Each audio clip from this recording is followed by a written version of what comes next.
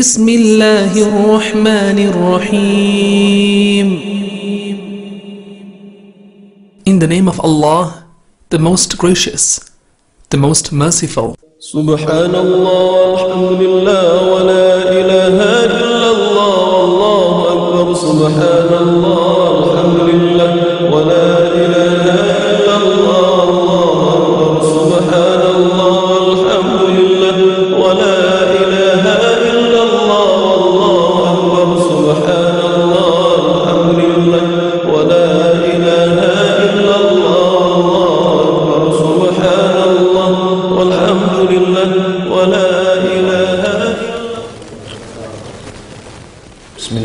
الرحمن الرحيم الحمد لله رب العالمين والصلاة والسلام على نبي الرحمة والهدى محمد صلى الله عليه وسلم وعلى آله وأصحابه أجمعين وبعد All praise is due to Allah subhanahu wa ta'ala. Blessings and salutations upon Muhammad sallallahu alayhi wa sallam. We ask Allah subhanahu wa ta'ala to bless him and all his household, to bless all his companions, to bless every single one of us and to grant us goodness.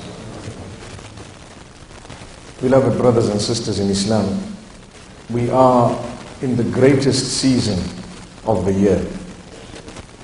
We have the month of Ramadan, that is the greatest month in this Islamic calendar. Over and above that, we have a day that is the most blessed day in the week, that is the Friday. And over and above that, we have the portion of the month that is the most blessed, blessed portion of the month, and that is the last 10 days. And above that, this is the last Jumu'ah that we have. We are here gathered just after the noon, and we are sitting here for the pleasure of Allah subhanahu wa ta'ala. As we are seated, we are meant to be asking ourselves, who are we? Where did we come from? Why are we here on this earth? Where are we heading? Where are those who have gone already before us? Where exactly did they go? Why did they go? How long did they last for? What did they have? Did they have what we had, or more or less? Did they have a happy life, or did they have a sad life? We have many problems. We have many issues, we have many difficulties. These difficulties, they are sometimes personal, where either connected to health or to something else on a personal level. Then we have other difficulties on a family level. We need to help resolve the matters from the root, and that is the individual. If we rectify ourselves, we will find solution to our own problems.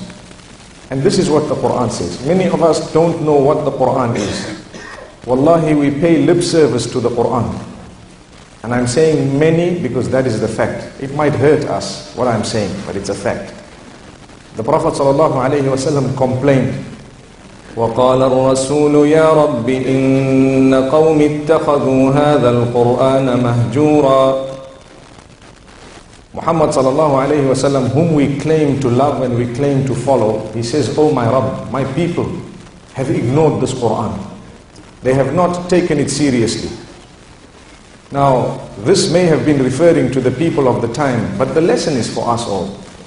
We have difficulties primarily in our lives because we have drifted very, very far away from the teachings of Muhammad. And no matter what happens, we seem not to be waking up. We are in a slumber as an ummah, deep slumber. We are quick to fight with one another. We are quick to swear. We are quick to want our way. What is this man saying today? Why doesn't he say what I want him to say? Why is this attitude? Because we are arrogant. That's the truth. The arrogance that is embedded within that we seem not to want to bring to the fore. We don't want to deal with it, we don't want to admit it.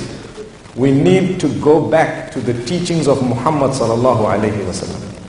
Because we have been taught from the first generation your problems will never be solved until you go back to the pristine, pure teachings of the messenger and the path upon which his companions were.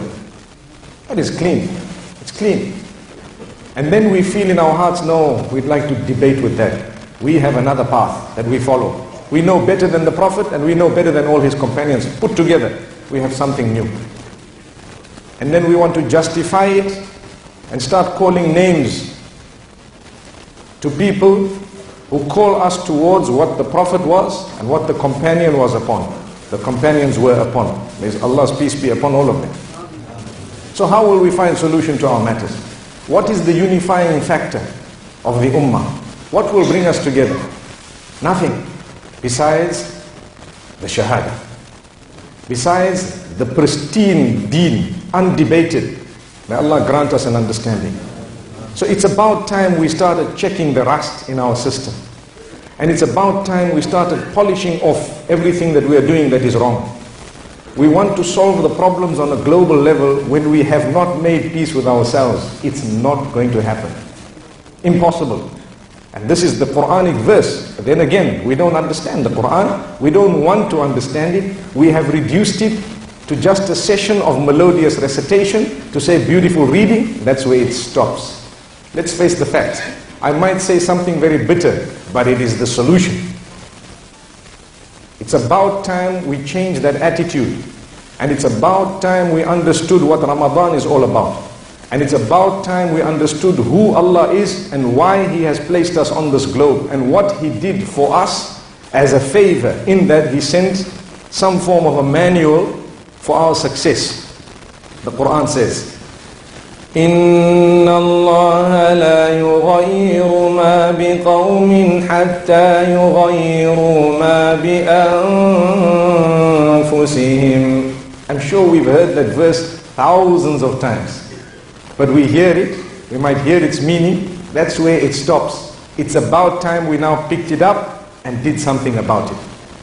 This verse means Allah will not change the condition of the ummah until the time comes that every single individual from the ummah changes himself or herself. There we are. That's a divine statement. So we get angry when we hear that. No, we want to have our own solution. We get happy when we make a big noise about something and feel that that is the solution to the problem. Whereas the solution is starting here. Starts with me to begin with. Before you, myself, the speaker. May Allah grant me the ability to look within myself, to remove the rust within my own life, and to return to the pristine religion of Allah subhanahu wa ta'ala. And may Allah grant the same for all of us. Wallahi, the statement is very powerful. I will be asked on the day of judgment. I will be asked what I did, what I said, how I delivered the message. And you will be asked, something got to your ears. What did you do about it? Did it make you upset that why did he say this? Or did it go straight through to your heart to say, no, I need to change my lifestyle? Many of us are drunkards. May Allah safeguard us. When I say many, I'm talking of a lot of the youth. We face facts. Many of the youngsters are on drugs. We face facts. We know the crisis that is within us. Not only in this country or this city, throughout the globe. There are so many people who are on weed. I don't know if you know what I'm talking about. And I'm, I'm telling you a fact. Then we think that we are doing the ummah a favor by being a part of it. Allahu Akbar. Where are we? How are we thinking? Are our brains knocked out totally? Gone, covered, intoxicated? Many of us cannot leave the adultery we are committing for years on end. We cannot say goodbye to it. No, we go back to it in Ramadan. May Allah protect us. Remember, we're not talking here of majority. There is a difference between many and majority, just to clarify. But at the same time, many is a figure.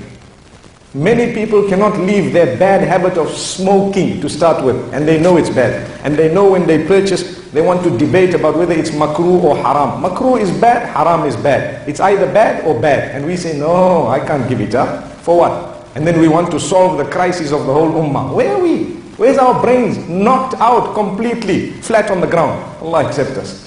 We can't do one thing, one thing, one thing. Allahu Akbar. Not one. Not one. Unless it suits us. There you are. This is the crisis. I'm hitting the nail not on the head, we've driven it right home. May Allah protect us. So this is the last lecture in the month of Ramadan.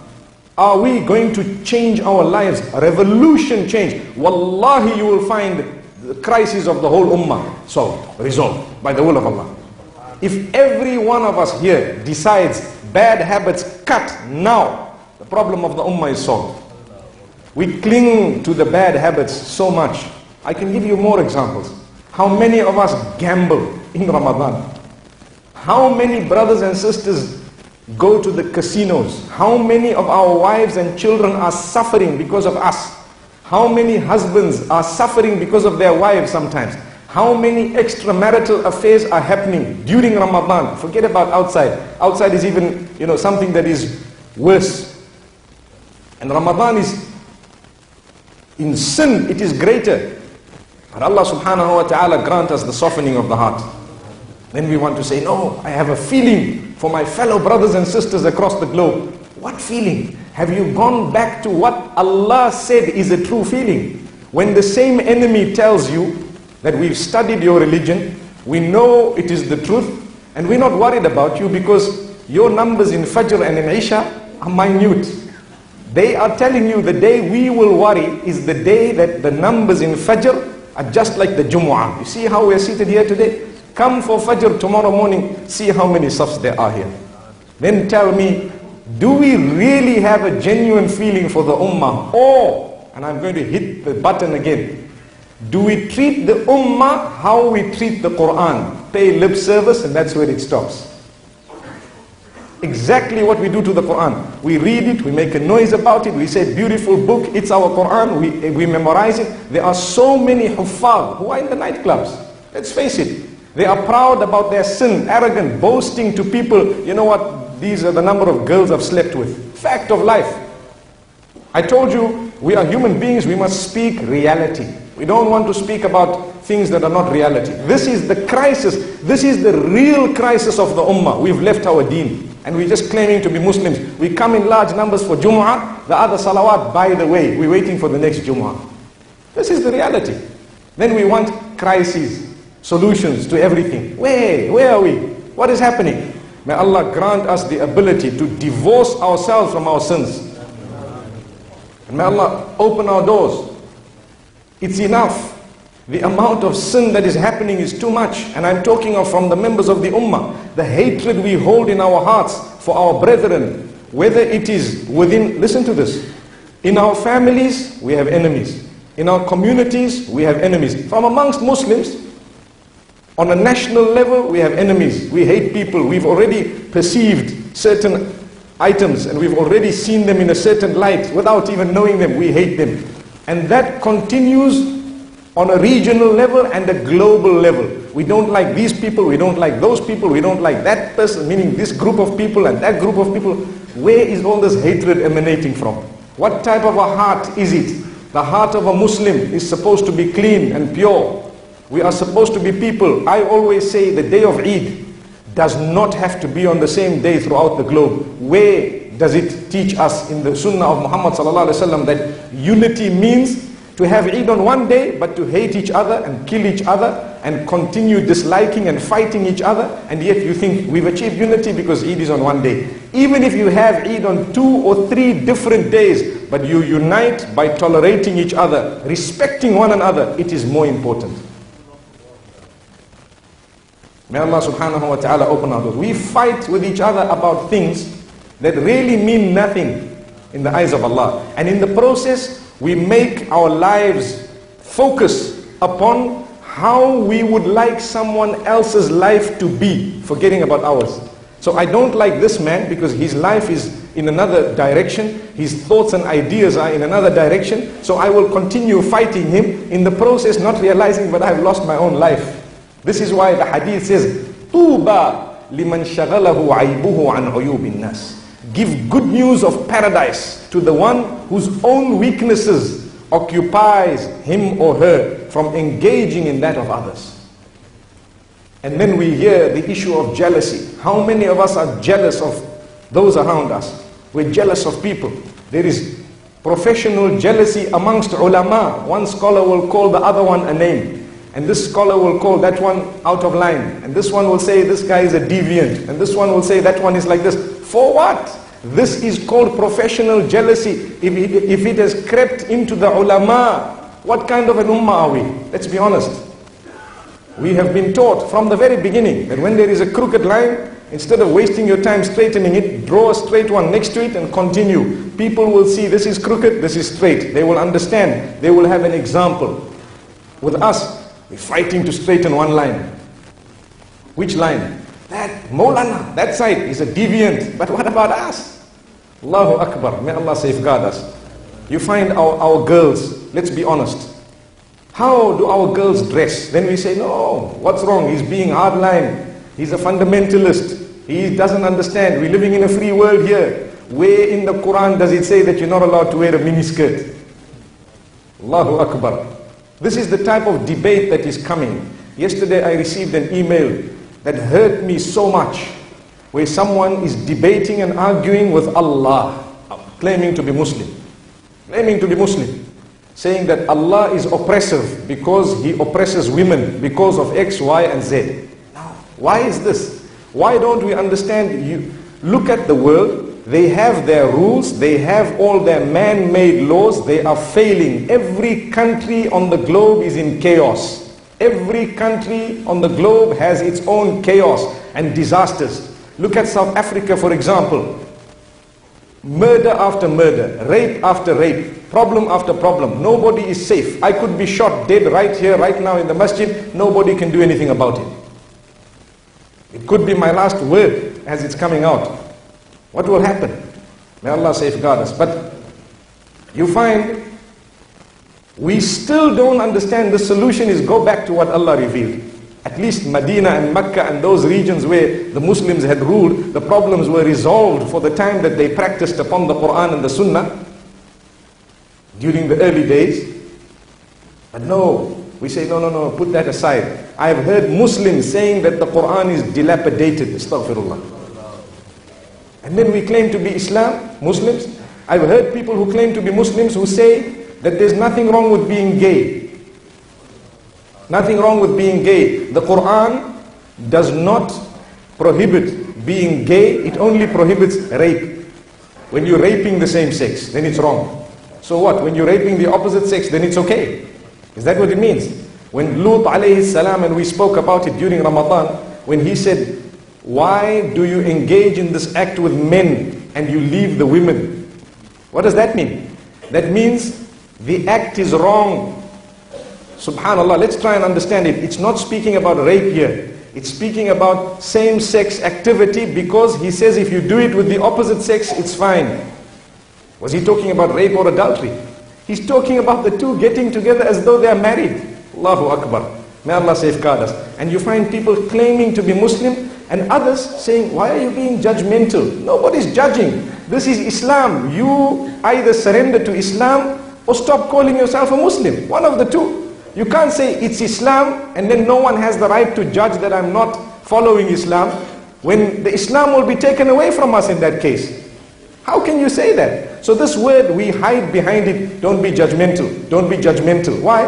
We want to get away with murder, that's all. So when a murderer is judged against, he can get up and say, hey judge, why are you being judgmental? Why are you judging me? Fool! Allah protect us. So you find people, they are not prepared to put a scarf on their heads. Not prepared. Then we want to solve the global problems. We can't even put a piece of cloth on our heads. Then you find others telling you, this Maulana is a terrorist because, and he's a fundamentalist because he promotes a scarf on the head. Well, that's a scarf on the head. People now call it a culture. And I said, it, there will come a time when the trousers are not halfway down the backsides, below the backsides with the bum showing astaghfirullah, and people will call it a culture. And I'm speaking openly, this is the language we understand. And they'll say, this is a culture. What's wrong? Who said we're not allowed to wear this? Come on. They are taking away our modesty, our morality. They are taking away our character and conduct wholesale and we're supporting it. Take a look at the culture, the pop culture out there. The gangsterism and everything else that's happening. Where did it come from? We lost our deen. Mother is busy having an affair at work. Father is busy doing something else somewhere else. Children, what happens to them? They all have this silly company and next thing they're lost and they drown. And this is not in all cases, I'm just giving you example. Or sometimes you have a different example where maybe they're not involved in open sin, the parents, but they have no time for their children. So why did you have those children? You've got no time for them. This one at work from 6 to 8, that one at work from 7 to 5. And when do you see your children? Well, we hardly see them. And when we come home, we've got to do certain things, we're tired, we want to sleep. The child is brought up by who? By the friends at school. And who are the friends at school? Those who sit behind pornography all day. So what does the child start doing? Nothing can make him happy besides pornography. So they hooked. How many men and women, especially men, Allahu A'lam, Allah knows best, are hooked onto pornography. They can't leave it. Then they say, but I'm a Muslim and I'm in solidarity with this. You're in solidarity with pornography. Brother, don't be mistaken. The solidarity is with sin and with the devil, not with anything else. We are fooling ourselves. Allah says, and we know this, and I see it might irritate us, but He says that we have taken this Quran, this is from the early days, we have ignored it, we have put it aside. What happens? There is a hadith of Rasulullah which says, there will come a time when nothing will remain from Islam except the name. لا يبقى من الإسلام إلا اسمه only its name. So people will say, I'm a Muslim, Muslim. But you look at them and you look at Islam and these are two totally different things. It's like calling a piece of pork an orange. Say, I eat oranges and you're busy eating pork. Say, what's this? These are oranges. That's what we're doing to the Quran. That's what we're doing to Islam. Where we say we're Muslims, but really what we are doing is totally haram, outside the fold of the religion, and we're not prepared to come back. Not at all. We have Ramadan, we have auspicious occasions, we have the Eid, we have so much, we have the season of Hajj. We, sometimes people go for Hajj and their lives do not change, they come back bigger sinners. And I'm sure you can relate to what I'm saying. Then we say, I need to solve the problems. Where? In Somalia, in Palestine, in here, in there. Subhanallah, Allah says, you want to solve it? Well, if every single person solves his own life and comes back on the deen and worships Allah subhanahu wa ta'ala, this is the Quranic solution, not mine. So people might be irritated. But why did he say that? Because if the Quran irritates us, then we have a problem. If the Quran's solutions irritate us, we have a problem. We are heading in the wrong direction. We are seeking solution we are, we are trying to save ourselves from drowning by clinging onto straws. That's not going to save you from drowning. You need to cling onto a huge boat and jump onto it. And that boat is the Sharia. That's what will save you. At the moment, little, little things are making us happy and excited. This is not going to solve the problem of the world. We need to better ourselves because I'm going to die, you're going to die, probably and possibly within the next few seconds. Allah safeguard us. So am I ready to go? Are you ready to go? No, we're not. We're worried about everybody else but ourselves. Don't you think that is shaitan's plan? The Quran says that. The Sunnah says that. Then we don't think about shaitan. No, shaitan doesn't come to me, not me. But mashallah, we're sitting in our vehicles, blasting the beat so badly that the ground is shaking one kilometer around us. Really.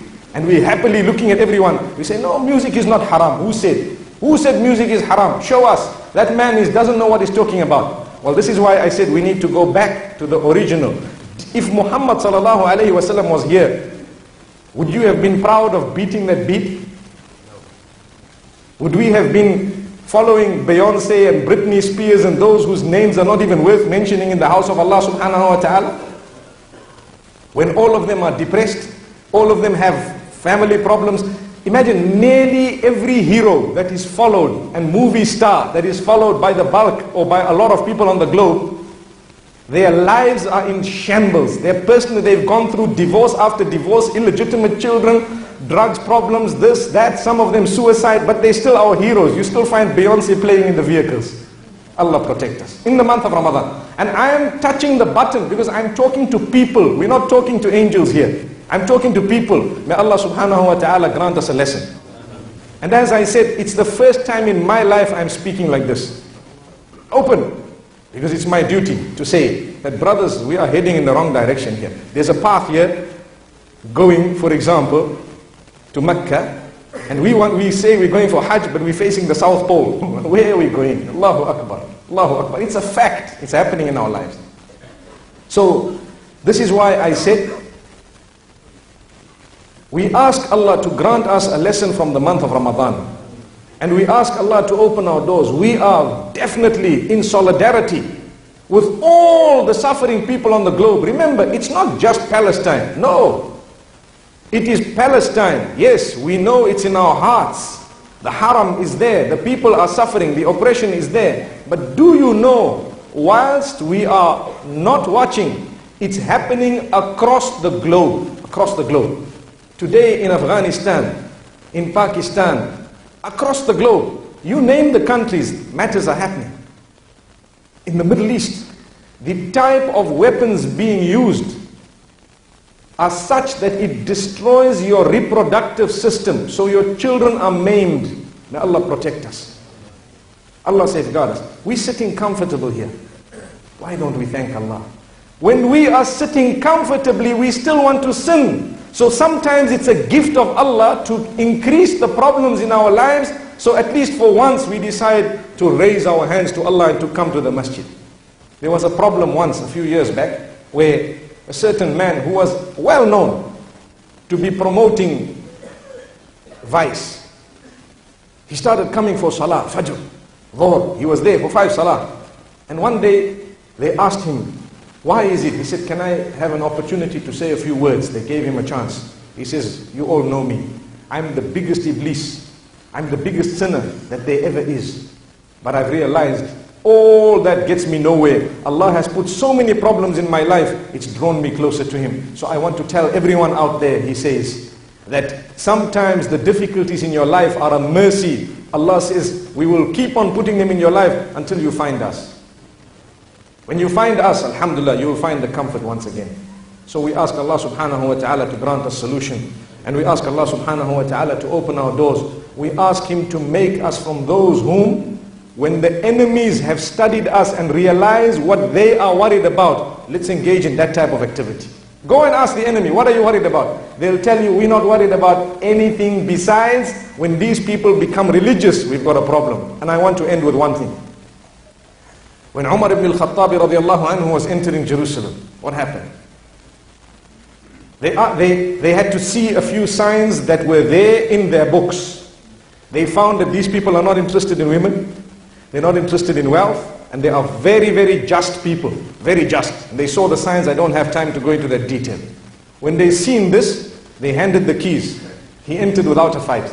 Nothing. Why? Because they knew from their belief we will not fight these people, they are more powerful than us in their religion. They are sticking to what is taught, solid. So we don't want to fight them. Here, here goes. Take the keys and gone. The same day they sat, they had a meeting. How can we get this back from them? One thing, divert them from their religion. And that's how we get it back. What has happened today? Didn't I say moments ago? We feel we are diverted from our religion. Because wallahi, we need a wake-up call now and again to remind us, Islam is in one direction, we better be in the same direction. That's the best way of wording it. We better be in that direction. And why should we let our little whims and fancies make us from those who cling to sin? For what? The day we have the power to eradicate sin in our lives and to get closer to the Almighty, you will find all the matters of the globe, inshallah, being resolved one after the other. People will just hear the name of the Muslims and they will give up and they will say, here you are. May Allah subhanahu wa ta'ala grant us the victory. May He grant it to us soon. May Allah accept all our efforts. I'm not saying there are no other ways of solidarity. Yes, there are many ways. But I today decided to go to the root of the matter because I know every year you might have powerful talks of the history that doesn't help you so much every year. It will help you only to know the history. But without knowing what Allah says is the solution, you wouldn't have a solution. May Allah subhanahu wa ta'ala make us from those who are not irritated by what was said today. Because I know there might be some people very irritated. If that's the case, well, what can I do? This is the solution of Allah. If we don't want it, we can continue in our mess. But we ask Allah to grant us guidance. And we ask Allah to open our doors. Wa sallallahu wa sallam wa baraka ala Muhammadin wa alaykum wa rahmatullahi